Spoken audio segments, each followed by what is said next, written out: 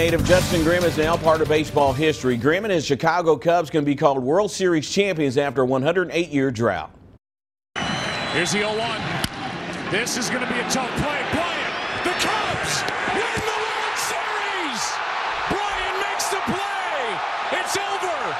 And the Chicago fans can now forget about Billy Goats and Bartman. The curse has been laid to rest, and next year finally arrived for long-suffering Cub fans. They won last night over Cleveland, five to one. Somewhere in the middle of that celebration is Southwest Virginia native Justin Grimm, who told me by phone this afternoon that he was the next pitcher up for the Cubs if the game continued.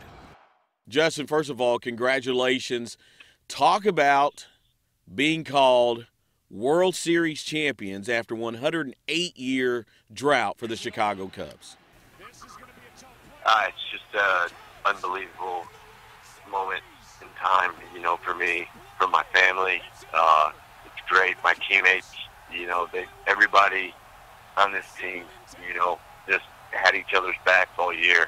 And, uh, you know, I think in that last, last the game last night, I think you, you saw us come together a team in that last, as a team in that last inning. And uh, it was just an unbelievable night uh, to be a part of history. I mean, I, I, I don't think words can really describe describe that feeling. You guys went extra innings, but take us through the final out, the grounder, the throw the first, and then what went through your head?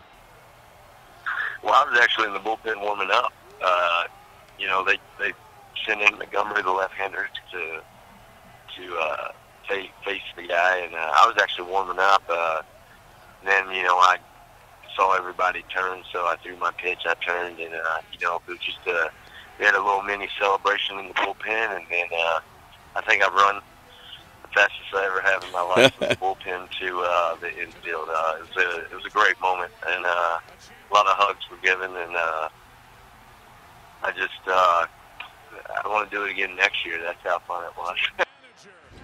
Grimm said the Cubs will hold a parade in the morning.